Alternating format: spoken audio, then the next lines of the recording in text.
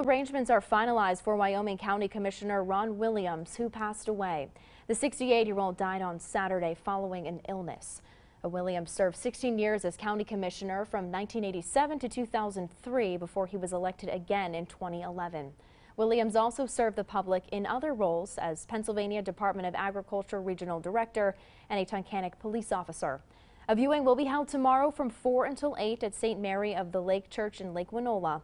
A funeral mass will follow on Thursday morning at 10, and a burial will follow at Fairview Cemetery.